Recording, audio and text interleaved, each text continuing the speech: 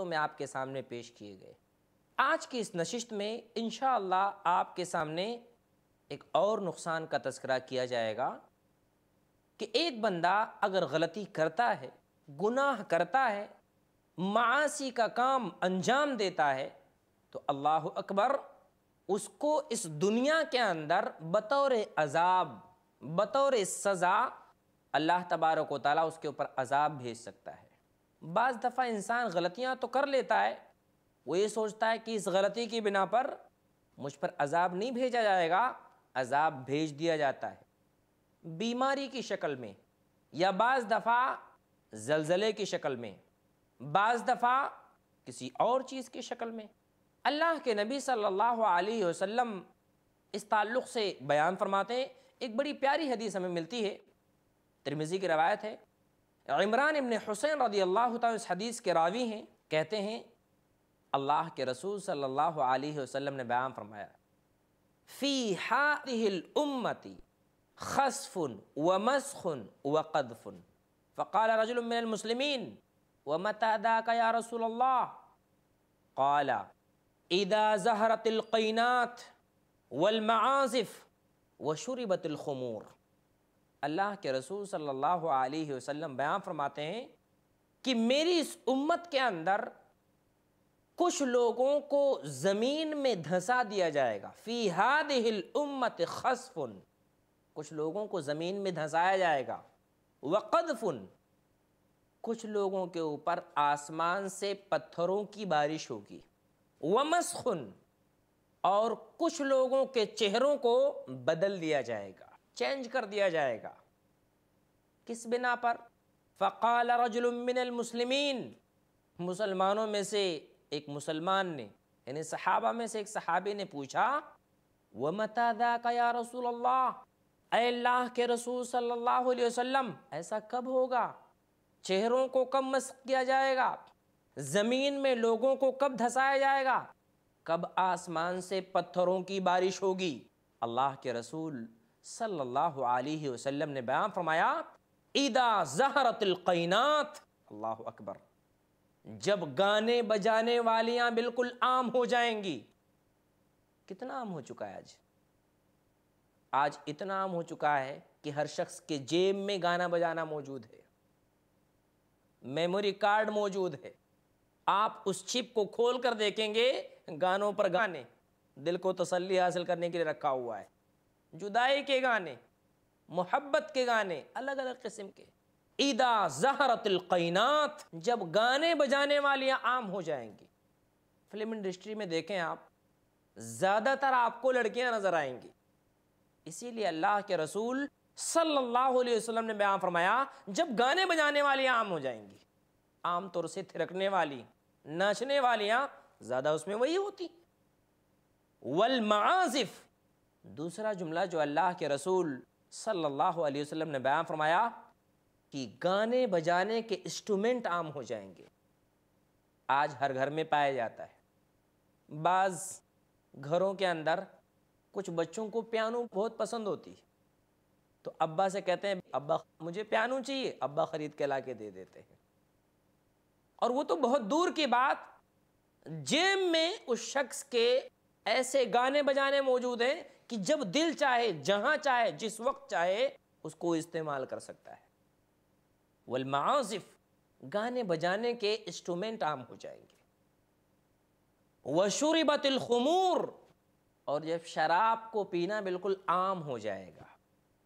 یہ تین چیزیں جب امت میں عام ہو جائیں، تو اللہ کے رسول صلی اللہ علیہ وسلم نے بیان فرمایا، یاد رکھو، لوگوں کو زمین میں دھسایا جائے گا۔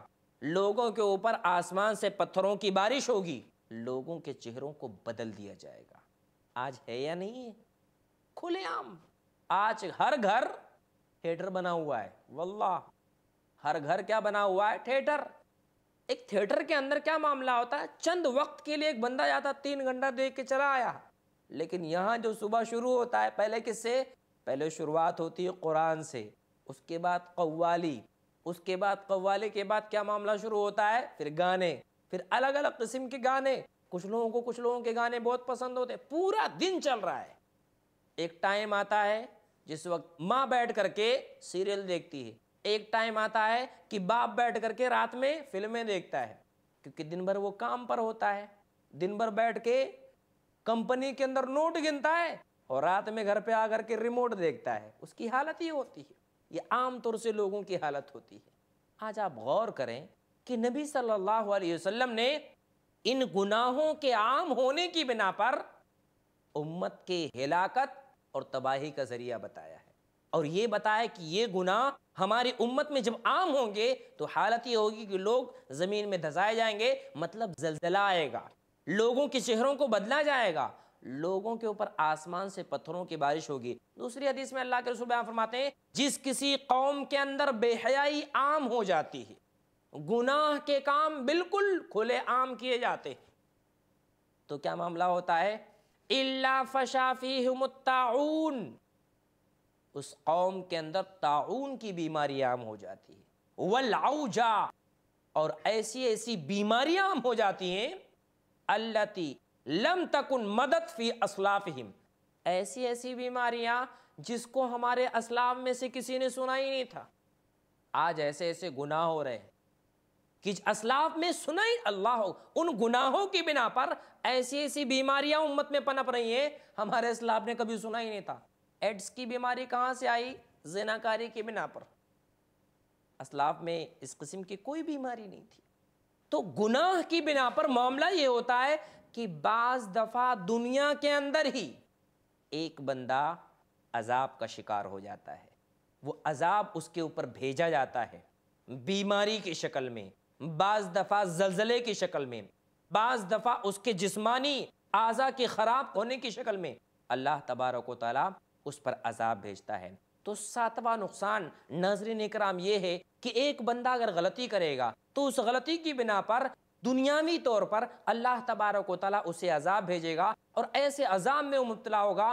اللہ اکبر۔ اگر اس نے توبہ کر لیا تو الگ بات ہے، لیکن یاد رکھے، جب تک وہ زندہ رہے گا، ہو سکتا ہے کبھی نہ کبھی اس کا عذاب، اس کی، اس غلطی کا عذاب اس دنیا کے اندر اس سے مل کر رہے گا۔ اور بعض دفعہ ایسی غلطیاں بھی انسان کے اندر ہوتی ہیں، جس کے بارے میں خود اللہ کے رسول نے بیان فرمایا ہے کہ دو غلطیاں ایسی ہیں جن غلطیوں کی سزا میں دنیا میں مل کر کے رہے گی۔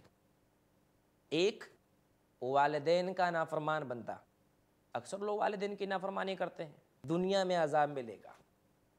دو، ایسا شخص جو باغی ہو۔ باغی میں دو چیزوں کو شمار کیا گیا ہے کہ ایسی عورت یا ایسا بندہ جو زناکاری کرتا ہو یعنی ایسا کام کرتا ہو جس کو بغی میں شمار کیا گیا ہے یعنی زناکاری میں شمار کیا گیا ہے ایسا کام اگر وہ کرے گا، زناکاری والا کام، اس کو دنیا میں بھی اس کی سزا مل کر کے رہے گی۔ تو ساتواں نقصان، ایک بندہ اگر گناہ کرے گا، دنیا میں بھی اس کو سزا مل سکتی ہے۔ اللہ تبارک و تعالی عذاب کے طور پر اسے بیماری یا کسی اور چیز کے اندر ملوث کر سکتا ہے۔